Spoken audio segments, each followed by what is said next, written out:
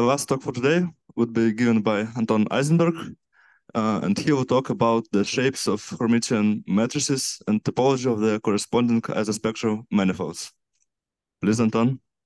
Yeah, thank you for the introduction. Uh, yeah, I hope you can hear me quite well. Yeah, tell me if this is not the case. Yeah, can you hear me? Yes, we can. Okay, uh, wonderful. So yeah, thank you for inviting me for this conference. Yeah, unfortunately, I cannot attend it in person uh, because, well, last time in Sochi it was quite nice surrounding. Uh, but anyway, so now I will be uh, speaking head uh, inside inside your screen. My talk will be about shapes of Hermitian matrices and topology of the corresponding isospectral manifolds. Uh, I think that you can follow my slides. Uh, let me just uh, send them in chat. Uh, the reference, you can click them mm, so they, they are kind of, kind of made as a website. Uh, but anyway, so this, this is a joint work with um, uh, several people, with Viktor Matveyevich, of course, with Vlad Cherepanov, with Mikiya Masuda, Grisha Solomadin, and Kostya Sorokin. So this talk is based on several, uh, actually it is based on several works. I will comment on which works, which parts are based. Uh, so uh, let me uh, formulate the problem. Uh, so the main, uh, the main object that I'm going to consider is the square matrices of some form. By a form, I mean that uh, I uh, consider Hermitian matrices of size n, in which some of diagonal elements vanish. So I put zeros at some places of a matrix, and um, these places are off diagonal. Uh, and the best way to encode such shape of a matrix is by graph. So uh, assume that we have a graph on the vertex set uh, M, and then I can consider a matrix uh, which has which has uh, zero at all positions ij, which are not edges uh, of this graph. Uh, and I consider the set of all such matrices. so some examples. for example, if I take graph like this, this star graph, uh, we have edges 1, 2, 1, 3, and 1, 4. And this means that I allow some entries at positions 1, 2, 1, 3, 1, 4. And I also allow some entries at, uh, at the diagonal. But all other entries, so these uh, voids here are zeros. Uh, so this graph defines me this shape of a matrix. Uh, this is one example.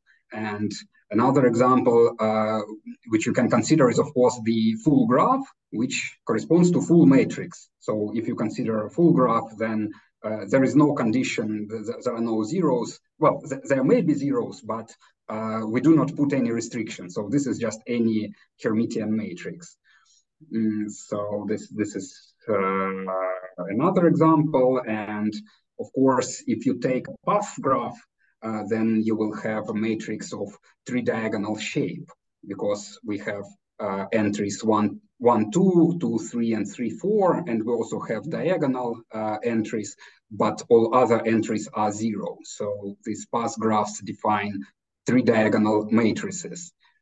And another interesting thing, another important example is what happens when, when you take a cycle graph uh, the cycle cycle graph determines uh, well somebody calls this Jacobi matrices uh, well I, I, I prefer to call them periodic three diagonal matrices they look like three diagonal matrices but they have uh, one well, two additional entries in the corners so they correspond to this H1 part um, so the, the, there is such class important class of uh, of examples. And um, of course, all these examples, uh, these, the spaces of corresponding matrices uh, are not very interesting from topological point of view because these are just flat spaces. we are considering Hermitian matrices. So, so they are kind of uh, this entry and this entry, for example, are conjugate, and we have some real entries at the diagonal. But but essentially, this this space M gamma is not very interesting. It is just a flat space. It is just R uh, R of some dimension, some real vector space. Uh, but things uh, become more interesting when you um, put some condition on the spectrum of such matrix. So um, let us fix some simple spectrum. So for me, a simple spectrum is just a choice of uh, real numbers uh, which are pairwise distinct. So of course, since we are speaking about Hermitian matrices, their uh, eigenvalues are always real numbers. And I put a restriction that I only consider uh, simple spectra. So this means that all eigenvalues are pairwise distinct. And I fix a spectrum. And then I consider the set of all matrices of given shape which have this given spectrum. Uh, so in formula, it looks like this. So I intersect uh, this space of gamma-shaped matrices with, with this space of uh, matrices having, having given spectrum. Uh, and uh, this is kind, kind of a simple argument which follows from Sard's lemma that uh, if you take this lambda generic enough in some general position, then uh, this intersection, this m gamma lambda, will be a smooth uh, submanifold, a closed smooth submanifold inside, for example, inside this m gamma. Uh, yeah, this is just because because because of the argument of general condition. If lambda is general enough, then the intersection, this intersection is transversal. So uh, so we get some closed, smooth closed manifold. And uh, it is not difficult to observe that dimension of this uh, of this manifold uh, equals two times the number of edges of the graph. Uh, because, well, this is just some parameter count uh, of a matrix because we have some real parameters here. Uh, we have some complex parameters here above diagonal we do not consider parameters below diagonal because they depend on the above diagonal because the matrix is Hermitian. So we have these uh, uh, above diagonal entries are complex and their number is two times uh, the number of edges of the graph. Uh, and here we have n real parameters on diagonal but we subtract n because we fix the simple spectrum. So, so this is just a simple exercise to, to, to show that dimension of this space of this manifold is twice the number of edges of, of a graph. Uh, and I will, in the following, I will always assume that lambda is taken uh, in general position. So lambda is generic enough, which means for me that uh, this this this is actually a smooth, uh, closed, smooth uh, manifold. Uh, I, I, will not speak about some precise condition because because I don't know precise conditions in which for, for each graph uh, which lambdas give uh, give manifold. I don't know them, but uh, they exist. So if if you there, exists some like open dense, as usual, open dense set of parameters lambda for which this this is a smooth submanifold, and I assume that it is smooth in the following. Um, Okay, so uh, this is kind of the main character of my talk, uh, this, this manifold M gamma lambda. And why it is important for me is that we have a torus action on uh, this uh, on this manifold. Well, uh, actually, we can say that there is a unitary group action on on this on, on, on the space of all Hermitian matrices, uh, given just by conjugation quite, quite, quite a natural, natural action. So if you conjugate uh, a Hermitian matrix with a unitary matrix, then you, you again, you get some Hermitian matrix. And this action uh, of UN, uh, of course, preserves spectrum. So um, there is actually an action on M, M lambda. Um, but we also have uh, Uh, Anton, excuse me, may I ask you, ask you a question about yes. uh, edges? So, uh, do you impose some conditions on diagonal? So, uh, so II, is it an edge or for you or not? Uh, II, kind of, yes, always an edge. So, uh, diagonal, okay. on diagonal, we always have something. We, we allow something on diagonal. so, so this means that on the diagonal, we have no restriction. And if you have complete graph, then the and square, right? Uh, sorry, if we, yeah, I have some had some problem with sound. Uh, uh, I mean that if you have complete graph, then you have no restrictions on matrix at all. That's yes, it. Exactly. Okay. Yes, exactly. So yeah, okay. Thank you. Um, now I just consider some standard standard maximal torus inside UN, which is for me a torus of diagonal unitary matrices, uh, and I consider its action on um, uh, on, on the matrix. And if we restrict to the torus, uh, then the shape of the matrix uh, is preserved. Well, I mean that if we have zero at some position in the matrix, then it it is still zero after we act by a torus. Uh, this means, well, th there may be some some other example. Okay, so mm, not quite good. Um, Mm, like this. Uh, so we have zeros somewhere and they, uh, they are preserved. This means that this torus action uh, preserves, so this is actually an action on uh, on the space m gamma lambda, on, on, on our manifold m gamma lambda. So, so this, the, this manifold carries some torus action, which is quite nice for me. Uh, and I'm interested in toric topology of this manifold.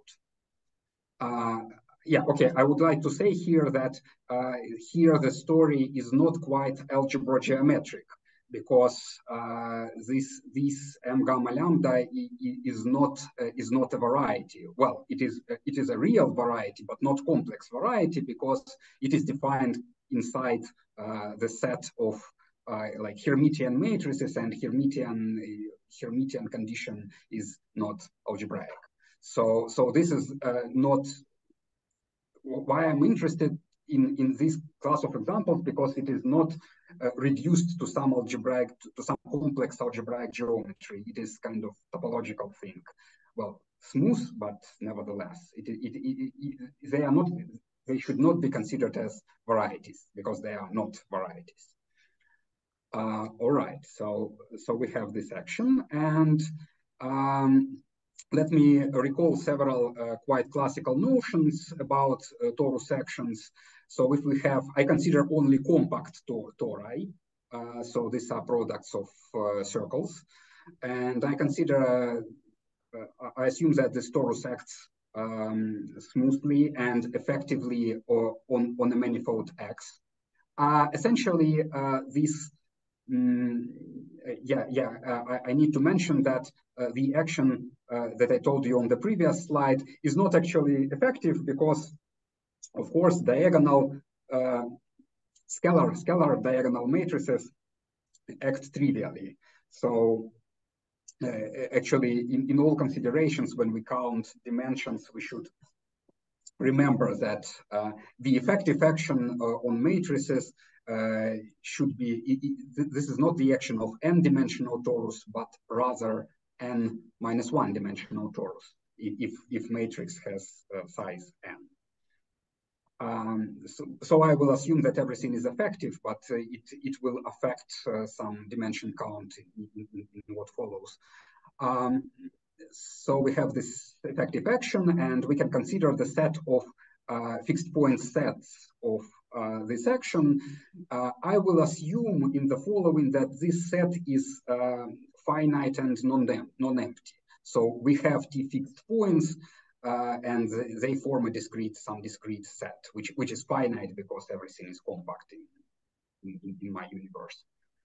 Um, all right, so, uh, and here are some homological things related to torus sections.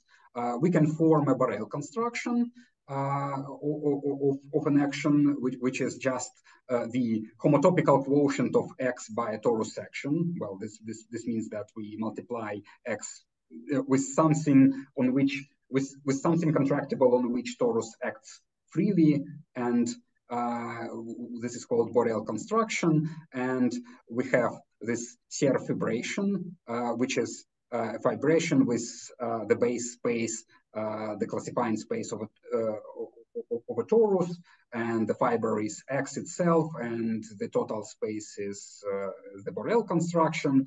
And we have equivariant cohomology of X, which is by definition the cohomology of the Borel construction. And we have some spectral sequence, Serre spectral sequence, which relates equivariant cohomology and ordinary cohomology of, uh, of a space. Uh, so this is very classical, the basic classical invariant of uh, of a man, of manifold or space with with a torus action. Um, so this this this story is quite standard, and uh, I'm going to give this general definition, but uh, actually I, I won't use it too much um, but let me say that X is equivariantly formal, uh, I would say in the sense of Goresky, uh. Uh, X is equivariantly formal, equivariantly cohomologically formal if its uh, Serre spectral sequence uh, collapses at E2. Um, uh, in some sense, equivariantly formal spaces um, are, are a class of spaces with some good homological property uh, or homological property of torus actions. So these are some spaces where you can, in some sense, express uh, equivariant cohomology from ordinary cohomology and vice versa in some, well, in some sense. So these are spaces which are most studied, and these are spaces which appear quite often in algebraic geometry. Uh, but here, actually, this is a definition, and there exists actions which are equivariantly formal and actions which are not equivariantly formal. So uh, th this, this is the main topic of my talk, actually. Um, and um, but but for my talk, maybe maybe if you don't if, if, if you never seen this uh, definition of uh, Borel construction or spectral sequence, you can just use a simple cri criterion uh, for equivariant formality uh, under assumption that fixed points are as isolated. So if fixed points are isolated, then equivariant formality uh, is equivalent to the condition that odd degree cohomology of, uh, of, of, of, the space uh, vanish. Uh, of course, I need to tell that, that there are some coefficients everywhere. so this definition should have some coefficient ring uh, in which we consider all these spectral sequences and stuff like this. And uh, here we, we also should have some coefficients here. Okay, let's say uh, that uh, you, you can think of it as, yeah, if you like, coefficients in integers, in z, or maybe z2. it, it is also fine because we, we, we have to compute something and at, at the time that we compute something uh, we we required z2 coefficients actually but nevertheless the definition holds true uh, in this case as well.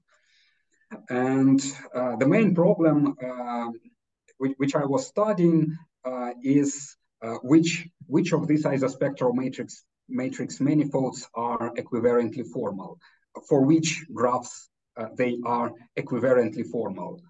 Mm, uh, to say something uh, in advance, let me say that this this condition will not depend on lambda. So, so this equivariant formality will only depend on the graph, but not on a spectrum. So spectrum is always in general position, but the answer will be uh, will not depend on on spectrum.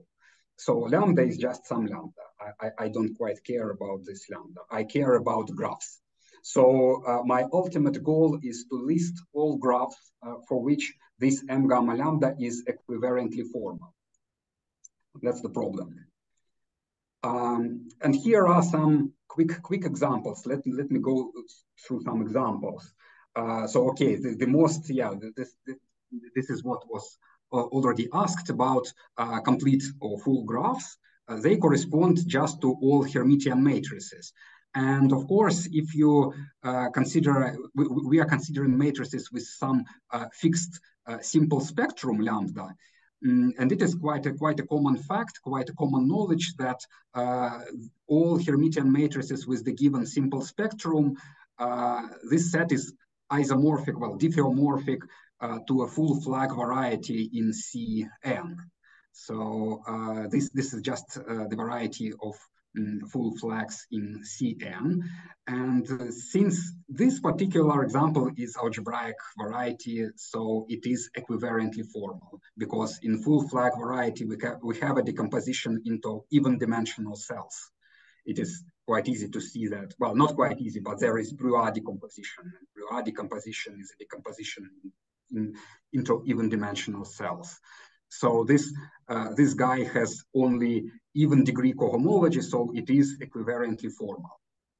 Yeah, I, sh I should say that all, all manifolds, which uh, all these matrix manifolds have isolated fixed points. So this, this condition holds for, for all manifolds. So there should, should be no question about uh, fixed points. Fixed points are isolated for, for, for all these manifolds, and here in particular.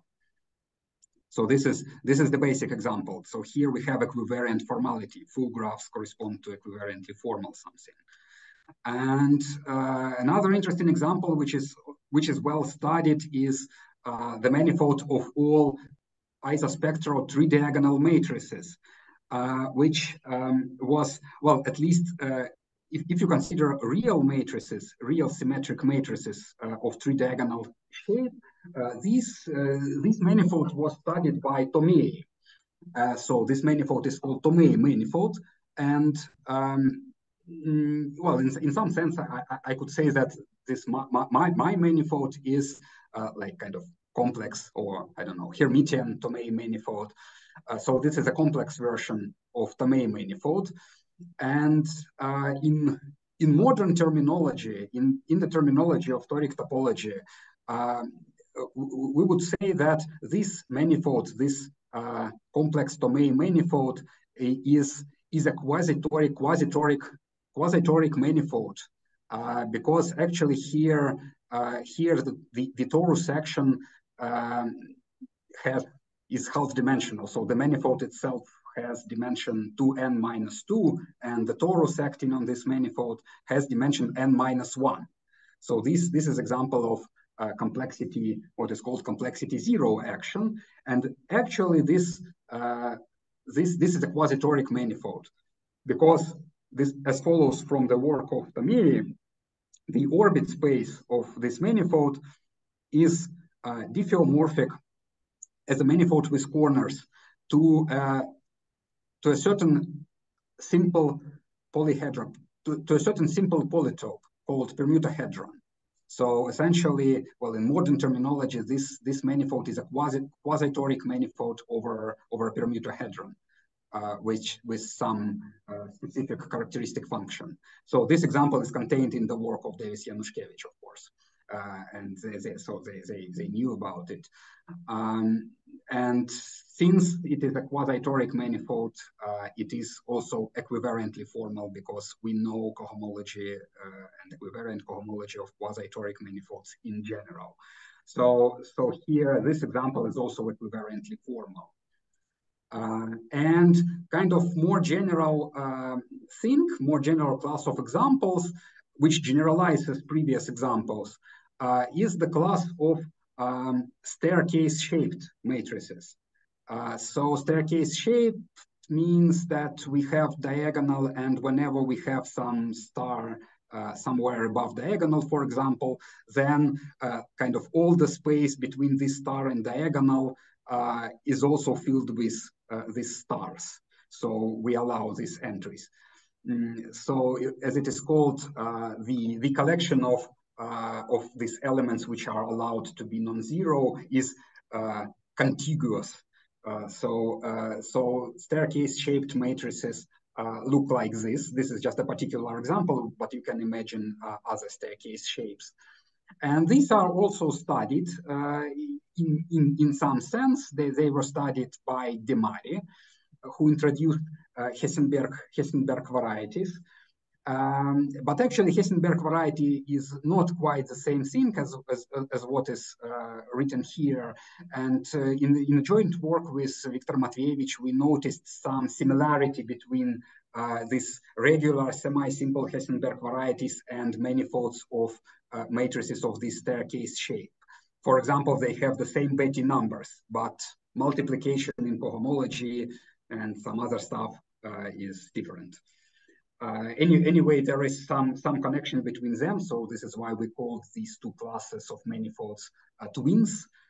And uh, again, again, to get in, in, in, joint, joint work with Viktor Matveevich, we, we noticed uh, that you can use Morse theory, uh, can, you, you can apply Morse theory to a manifold of such matrices and show that they have even dimensional cell structure well, not not quite cell structure maybe, but uh, like those type of cells which which appear in Morse theory. So there there is a, there is there is a Morse function on this manifold which uh, has all um, all singular points of even index, only even index. index. So so this this means that there there is no odd degree cohomology here, and this is still equivariantly formal. And this includes, this includes the case of all matrices and the case of tridiagonal matrices as particular examples. So these were all examples of equivalent, equivariantly formal examples. Let me switch to some interesting examples which are not equivariantly formal. Um, and the, the, this, this example, well, this, this particular picture and this particular example I knew uh, in 2016 from uh, Januszkiewicz, uh, so they, they, seem to they, they seem to were inter they, they, were interested in such uh, in such manifolds in manifolds like this.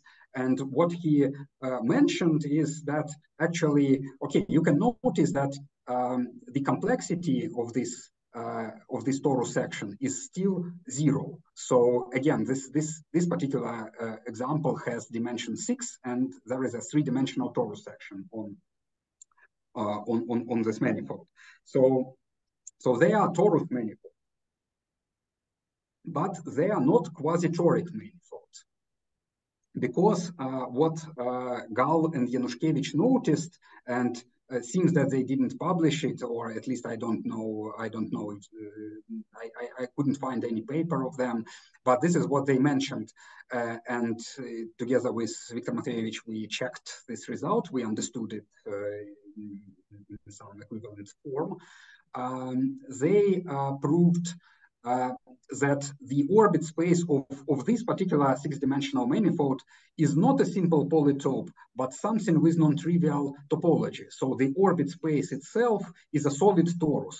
Uh, with with its boundaries subdivided in, in, into hexagons uh, in, in, in some manner, but um, but this shows actually that this manifold is not equivariantly formal because there is um, there is a famous theorem of Mikiya and Taras about the criterion of equivariant formality for complexity zero uh, torus manifolds, uh, which tells that, roughly speaking, equivariant formality holds whenever uh, the orbit space is something like a polytope, well, something which behaves homologically like a polytope.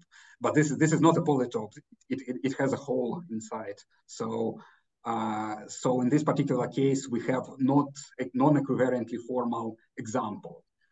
Um, this is first example of non-equivalently non-equivariant formality. And uh, another interesting case is that I mentioned uh, in the beginning that we have this uh, manifold of periodic tridiagonal matrices, which corresponds to cycle, cycle graphs. Um, and you can notice that complexity of torus action here uh, equals one. This means that uh, this manifold has dimension 2n, but uh, the acting torus has dimension n minus 1. So complexity uh, equals 1 here. Um, and uh, I was interested in, uh, in some actions of complexity 1 in general.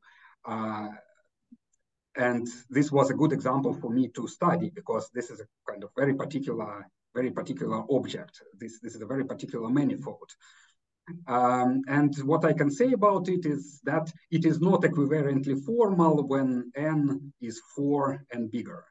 Of course, when n is 3, uh, and n is 3 uh, is, is equivariantly formal because NS3 just gives you a full graph on three vertices. And uh, this is just the set of all matrices, which is the manifold of uh, flags in full flags in uh, C3. So uh, n equals 3 is not interesting. It, it, it is already studied. But interesting cases start from 4. And how can, uh, can, can you see this? Uh, what, what, what is the intuition behind this non-equivariant formality? Uh, there are several ways to see this, why, why, this manifold is not equivariantly formal. Maybe the, the, the easiest thing is that I computed its fundamental group. Uh, it is uh, it is not very difficult. So this fundamental fundamental group of this manifold is uh, z to the power n n minus three. So it becomes non-trivial when n is at least 4. Um, and um, this gives you some non-trivial first homology. So first homology is odd degree homology. So this means that we have odd degree homology. And so this space is not uh, equivariantly formal. Uh, but there is a more tricky way to see why, why this uh, non-formality holds. Uh, I would like to mention that um, we have, uh, together with uh, Mikiya, we proved that, uh, well, under certain assumptions, uh, equivariantly formal torus actions of complexity one um, give orbit spaces which are homology spheres. Um, this, is, this is quite interesting phenomenon uh, that if you have complexity one actions in general position and if they are equivariantly formal, then the orbit space is a homology sphere. But uh, you can also look at the orbit space of this manifold. Uh, and well, I, I, I proved that this orbit space is homeomorphic to, to the product of, of a sphere and some torus. Uh, you can see that this becomes trivial when n is 3, so there is no torus when n is 3. But when n is at least 4, there is this toric component here. And it, it is quite an interesting story about the toric component because um, it actually comes from physics. Uh, this, uh, this manifold supports not only torus action, but also the famous um, periodic Toda flow or flow of the periodic Toda lattice, uh, which is which is quite well studied. It was studied by Krichever, for example, uh, and yeah, some other people. But yeah, I, I essentially used some works of um, uh, about this space. And essentially, this torus that you can see here, so it, it has nothing to do with uh, the torus which acts on this manifold because we, we already killed this acting torus. But this torus is uh, has some relation to Arnold torus of, of, this dynamical system. So this torus comes from dynamical systems. It, it comes, it originates from uh, mathematical physics. Uh, so again, you can see that uh, like these two stated um, statements uh, imply that uh, this, this, statement that this, this is example of non-equivariantly formal uh, manifold. Okay, so these these were examples which which we know for some time. We, we knew them for some time. So they they show that the problem itself is kind of interesting because we have formal spaces and non-formal spaces, and so it is it is good to know if we can describe all formal spaces and all non-formal spaces. And to do this, uh, I uh, recall the definition of uh, indifference graph. This, these are actually graphs which correspond to staircase matrices. Uh, so here is a formal definition, which which maybe I will skip. Mm, uh, this is just just a classical notion in uh, combinatorial graph theory. You just put some collection of uh, unit intervals on on a line, on real line, and then if two intervals intersect, then you draw an edge between the corresponding uh, corresponding nodes, corresponding vertices of a graph. And the graphs which appear this way are called indifference graphs. And there is a statement that these graphs correspond precisely to staircase matrices. So you can think about these graphs as graphs corresponding to staircase mat matrices, nothing more. Uh, but there is some tricky thing about that, that uh, essentially we can uh, put labels on vertices of a graph in different ways. And uh, in, in some cases, you get a graph. Uh, so for example, this line graph, uh, this path graph, one, two, three, it corresponds to three diagonal matrix. But if you relabel the vertices, then it corresponds to um, something which is not staircase. So this is not staircase matrix. However, uh, we can we can show it is very easy to show that uh, this relabeling of vertices uh, doesn't change uh, anything about topology of the corresponding manifold. So the manifold of, of these matrices, for example, is still equivariantly formal because, because these matrices are essentially same as these matrices. And these matrices are equivariantly formal. So um, it is, it, th th this is one tricky thing that, um, that you need to care about uh, relabeling sometimes. However, um, let me uh, go to, to the main result. Um, just, just a little notice that for any graph gamma, as I told you, this manifold M gamma lambda uh, has isolated fixed points, and you can count them. There, there is always n factorial many uh, fixed points of a torus action on this manifold. Um, and this means, well, since Euler characteristic of, of a manifold equals the Euler characteristic of the set of fixed points, uh, we see that uh, the difference between uh, even dimensional Betti numbers and odd dimensional Betti numbers uh, is uh, exactly n factorial. So the total Betti number of, uh, of this manifold is at least n factorial. And you can notice that it, it is equal to n factorial if and only if uh, odd Betti numbers vanish, if and only if uh, this manifold is equivariantly formal. Um, okay, so uh, th th this, this is good, good, good to notice. So there is a theorem uh, that the following conditions are equivalent, uh, that gamma is indifference graph, uh, roughly, this corresponds to staircase matrices or matrices which become staircase after some relabeling, relabeling after some uh, re renumeration of, uh, of, uh, of rows and columns. Uh, so these indifference graphs are the only graphs which produce equivariantly formal spaces.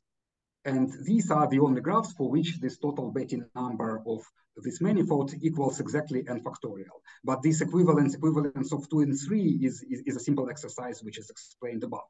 So the main result is here that uh, indifference graph, only indifference graphs uh, produce equivariantly formal manifolds. And uh, again, in one direction, uh, I already explained to you that staircase matrices are equivariantly formal. But the, the, the main difficulty is to prove uh, in different di direction that uh, equivariant formality implies that it is indifference graph. Okay, let me explain this. Yeah, maybe I will skip some slides because I don't have too much time. I will skip slides about uh, QR algorithm and uh, tell you a little bit how uh, how we we prove we prove the statement. So uh, as I told you, the most non-trivial thing is to uh, is the implication that gamma is not indifference implies that the manifold is not formal. Um, what uh, how, how, how, how can we prove it? There is a lemma um, which states that whenever uh, some manifold m gamma lambda is formal, and whenever we have some induced subgraph of graph gamma, then uh, the manifold corresponding to this induced subgraph is also formed. Uh, this is this is kind of uh, consequence of more general fact from toric topology that whenever you have uh, you have a equivariantly formal torus action on some manifold and and you take uh, some connected fixed, uh, some fixed set of some subgroup, some, some torus subgroup um, of this action, then this fixed point set of a subgroup is also equivariantly formal. So, so equivariant formality is inherited by some good submanifolds in, in some sense. And this is just an instance of this more general statement, which we, we can just show that induced for induced some graph, uh, this manifold is uh, is a is is some sort of invariant submanifold in this graph, uh, in in this manifold. So if the biggest bigger manifold is formal, then smaller manifold is also formal. And there is some warning that what what what is called induced graph. Induced graph means that you take some, you pick some uh, some subset of vertices of a graph, and you pick all edges of the original graph, which uh, which are con contained in original graph. So, for example, here, uh, this this this pink uh, subgraph is not induced because I uh, I picked uh, I picked these two vertices, but I didn't pick uh, this edge. I should pick this edge if I if I want to get induced graph. Uh, this is this shows, for example, that induced subgraph is something non-trivial because, well, in for example, in in, in complete graph, in, in a full graph, uh, you can find any graph as a subgraph, right? But uh, not as induced subgraph. So induced subgraph is a is more strict condition. Uh, so for example, we cannot find in, in this in this big graph, we cannot find uh, an induced subgraph um, isomorphic to this star graph. So this is this, this this is not induced, but in, in, in any other collection of vertices also doesn't give you uh, this star graph. So induced graphs are, it is important here that we only consider induced subgraphs. Um, and this lemma tells us that in some sense, we only need to consider kind of minimal non-indifference graphs. So uh, there, there are lots of uh, lots of non-indifference graphs, but uh, in order to prove non-formality, we only consider we, we, need to consider only some small parts which are non-indifference graphs.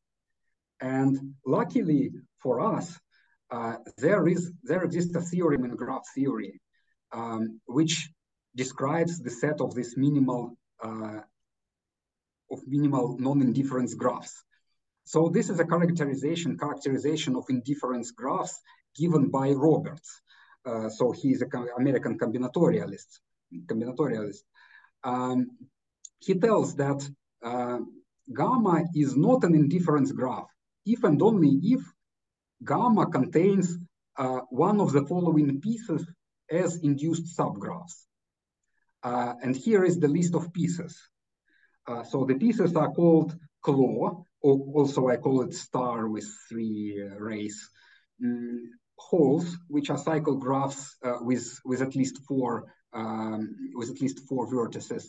And also these two special graphs called uh, the net and this is called three sun, but, but I just, just call it sun. So, so these are just two specific graphs. You can, you can see that whenever, whenever one, that, that all, all these examples are not indifferent themselves. But they are the only, the, the only pieces which prevent uh, a graph to be uh, indifferent, to be indifferent. So if, if you have something non-indifference, then it should contain pieces, some, some uh, some obstruction like this. So this, this is the whole list of obstructions for, for being uh, indifference.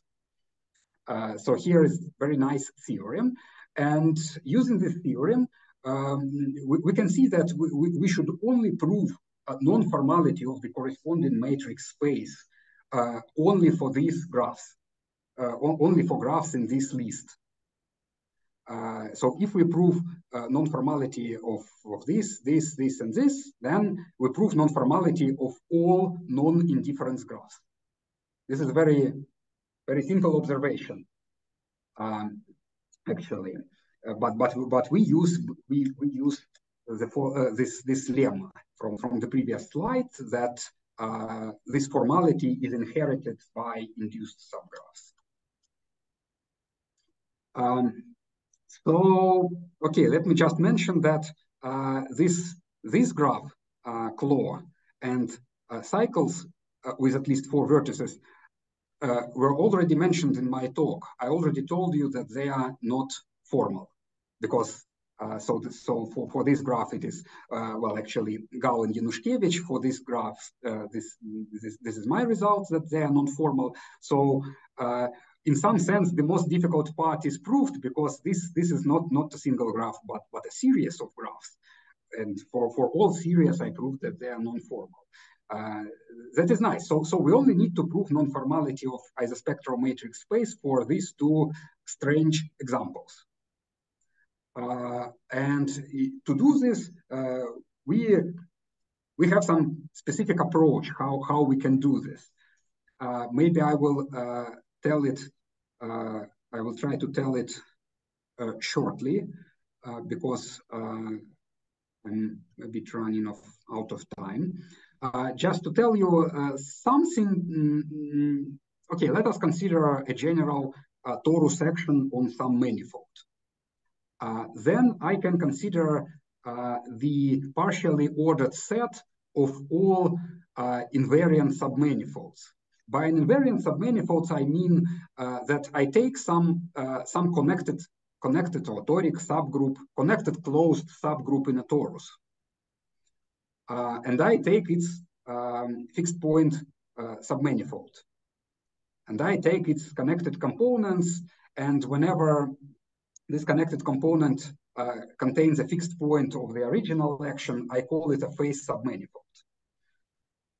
And this defines me some uh, discrete, discrete combinatorial structure, uh, some partially ordered set associated to a torus action, uh, a partially ordered set of all face submanifolds. So this, this partially ordered set um, uh, contains uh, the biggest, the biggest the largest element, the manifold X itself, and it has uh, some minimal minimal elements which are fixed points of the, of the action. But there is some combinatorial structure inside, so there, there is a partially ordered set uh, defined for any torus action.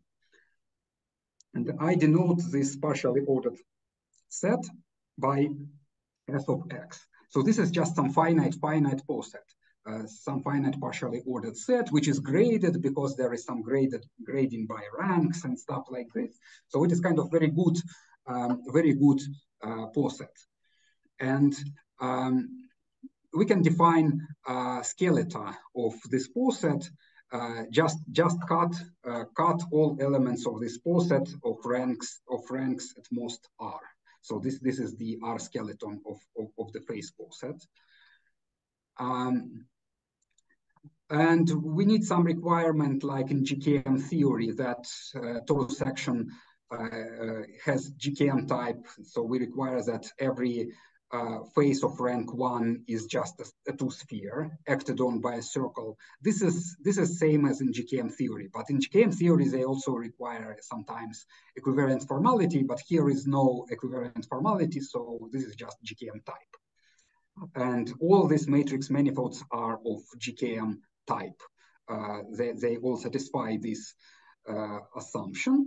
Uh, and we proved some general theorem about uh, torus actions. We proved that whenever a torus action is equivariantly formal, uh, and okay, assume that torus dim dimension of a torus is at least four, um, then um, we have that um, this skeleton, skeleton of uh, of the face poset are acyclic. So their homology in degrees one, two, and three vanish. So this is something about something about combinatorics, about combinatorics of some of some structure associated with uh, with, with a manifold. So we, we have this three acyclicity uh, of the poset. Um, it can be formulated in uh, for, for, for any torus actions, but but then you, you need to be careful about these numbers, like three and four, they're connected. So, so, so this can be modified. I just don't, don't want to write the general statement here. So this is our joint work with uh, Mikiya and Grisha Solomadin. Um, this is a general theorem, but we can apply it to check uh, non-formality of these spaces, of, of, of, these spaces, of these two examples. We have these two graphs, net and sun. In these cases, the, the matrices are have size six by six. And the, the effective torus action has uh, dimension five. So some uh, dimension count tells you that uh, so this, this is a 12 dimensional manifold with five dimensional torus action. Uh, so this, this, this one is 18 dimensional. So uh, we cannot we cannot actually compute what degree cohomology uh, just by hand of these manifolds because because they are too big. No, no computer can can do this um, ju just to compute all all like 17th degree cohomology. This is this this is kind of impossible.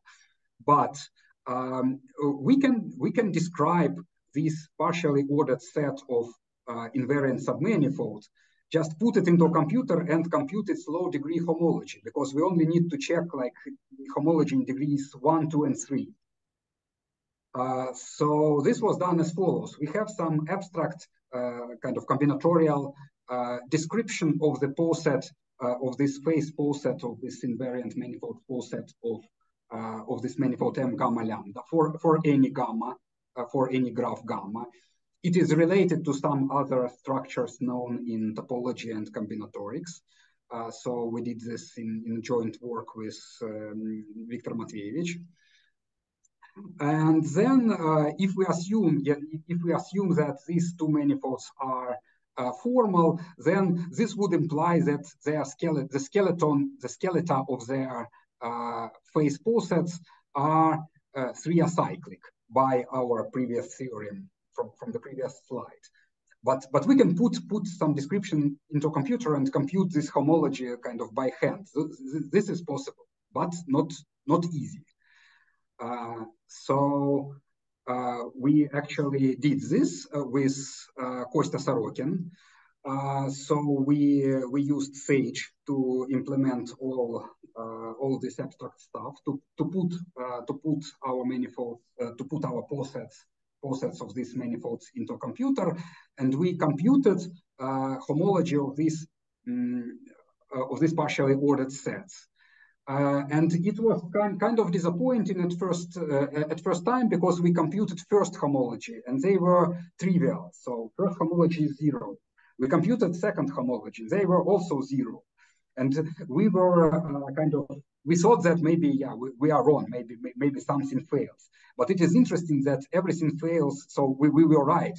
We were right that this line of reasoning works but we can only see this uh, by computing third degree homology. So homology so homology in degree three in both cases surprisingly equals to five has has rank five uh, for for both these spaces which gives an obstruction to equivariant formality according to our theory uh, with Mitya and Grisha. So this this theorem, so this is a computational theorem, but but it settles the point. So it settles the whole thing. So since they are not three acyclic, uh, three acyclic, we prove that these manifolds these manifolds are not equivariantly formal, and this proves the whole theorem as I told you. Uh, and this is uh, a good, good point to stop. Uh, thank you. thank, thank you all very much for your attention. And Viktor Matveevich, с днем рождения.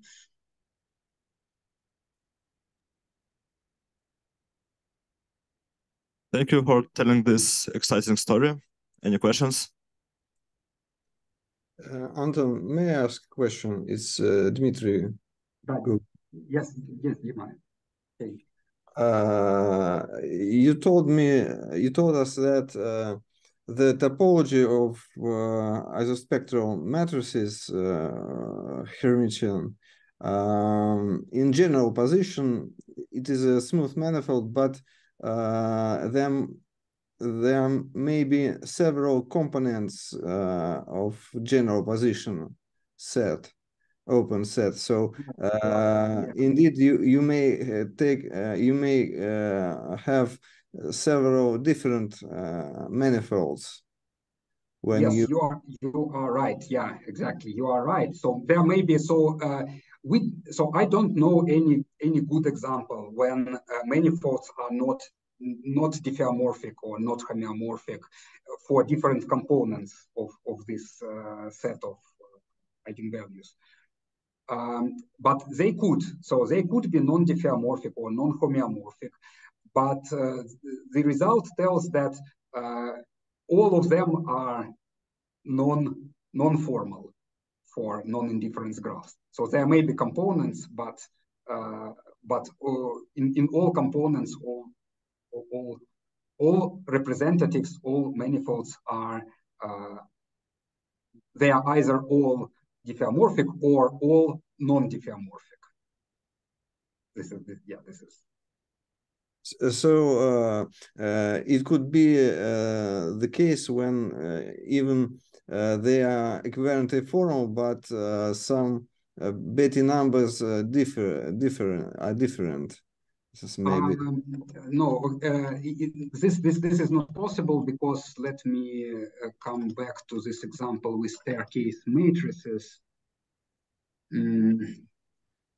So in this example, actually, uh, the, the diffeomorphism type of manifold does not depend on lambdas. So here, here is the statement that here every simple, every simple spectrum gives a smooth manifold, and all these manifolds are equivalently diffeomorphic to each other. So in this particular case, uh, there is no such thing uh, as you're talking about. Ah, uh, so but, in but staircase, in, in staircase, uh, all these manifolds are equivalently diffeomorphic. Yes. Yes. Yes. In staircase. In staircase. Yes. Uh, so in, in good case, in good case, in good case, yeah, they are all diffeomorphic, and uh, I think that yeah, we also proved, uh, yeah, in joint work with Viktor Matveyevich, we also proved that in this case, in in staircase, uh, not in star case, in arrowhead case, even if the size of this matrix is very big, like n times n, uh, in this case, also every spectrum gives, uh, every simple spectrum gives a smooth manifold. And they are one, one, one the one, same. One, yes, the same, the same. The same, so smooth manifold.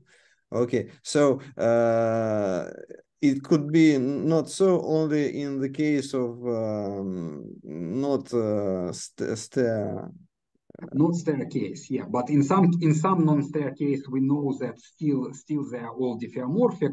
But in some in most cases, uh, I just I just don't know anything about uh, yeah. about about this. They may okay. be they may may be non-diffeomorphic, but I don't know example as well. So. Okay. Okay. Thank you. Thank you. Thank you. Uh, uh, this is Dmitry Timashev. Uh, thank you for your talk. Uh, I have the following question.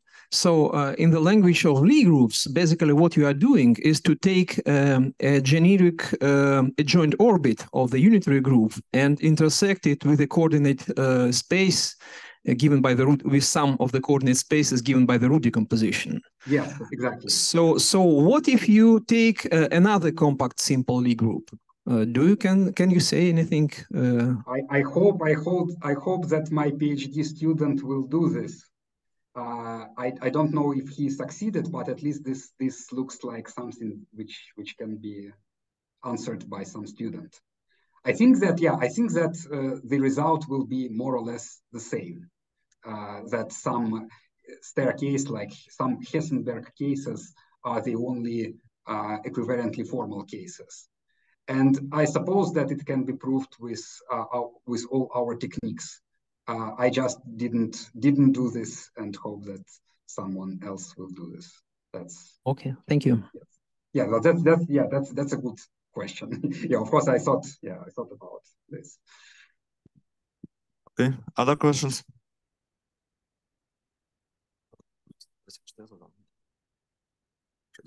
Антон, ты меня слышишь? Да, слышу. Ну, во-первых, большое спасибо за твой замечательный доклад.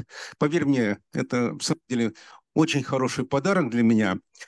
Хочу тебе сказать, что у нас здесь собралась ну, совершенно замечательная компания. Я вот каждый день нахожусь просто в восторге. И поверь, что очень тебя не хватает. Еще раз спасибо за доклад. Но тем не менее, у меня, у меня к тебе научный вопрос. Можешь ты показать слайд, где там у тебя появились гомологические сферы? А, да, один момент. Так, здесь. А, да.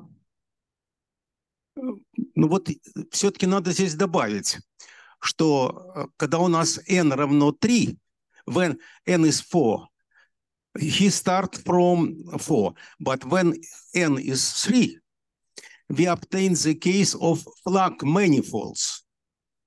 And it is uh, our result with Svetlana that if we consider orbit space Flock manifold up to action of And certainly, I was happy when you show me what this result where arise the torus. But you see, uh, you mentioned it is a homological sphere. But for topologist, it is a very, very important. Not mention homology spheres, but mention it about fundamental group. What you can say? It's not enough to say it is homology sphere. What kind of fundamental group arise here?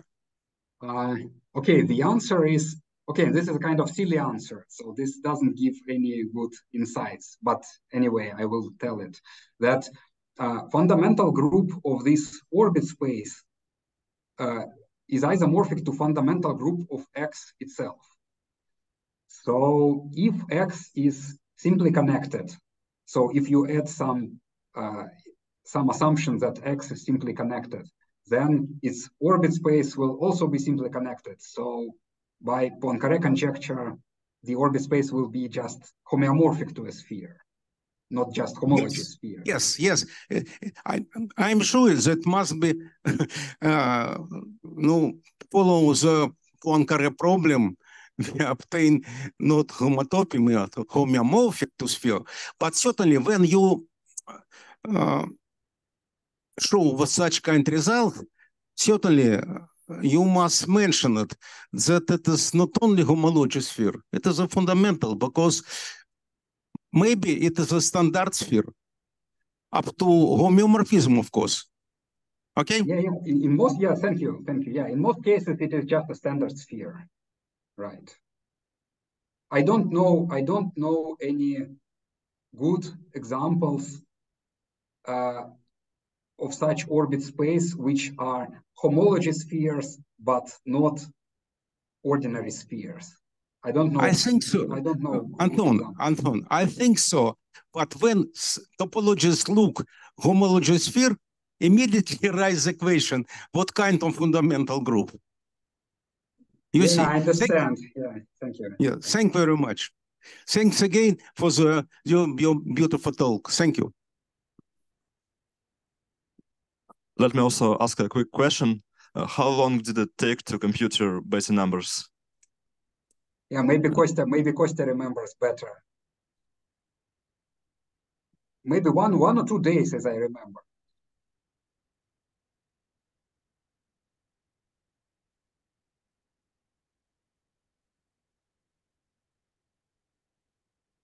I remember that we first tried to compute like honest homology with z coefficients, and then we just couldn't compute them. Even there were problems even with degree two uh, homology. They were computed like uh, mm, two days or something. Then we just uh, we thought that it will not. Yeah, I was very far away from the microphone. I can answer yeah. that question. Um, it took a lot of time. By the way, we unpacked not only our computers but HSE's uh, supercomputer.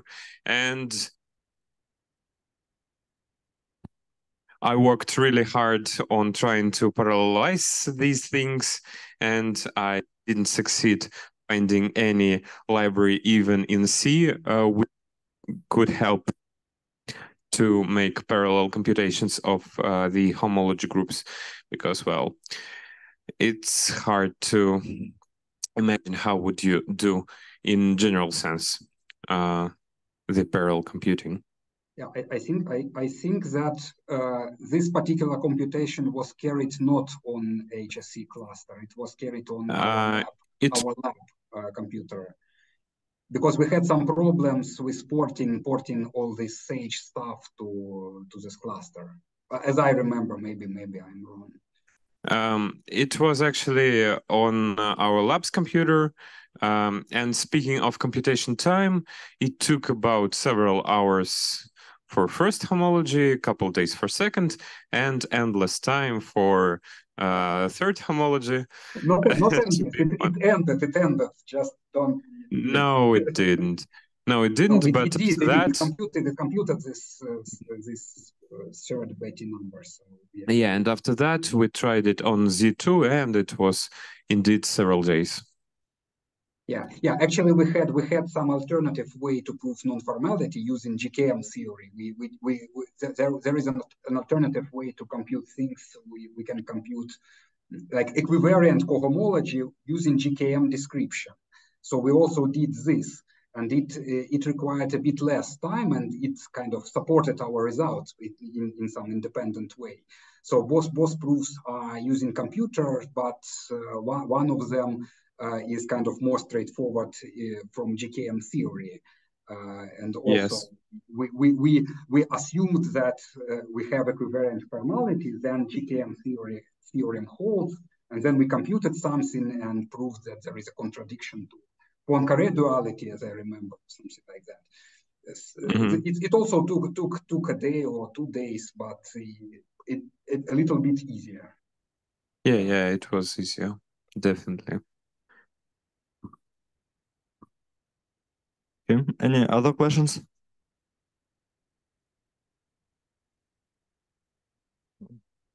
So no questions. So let's thank Anton again. And this was the last talk for today. See you tomorrow.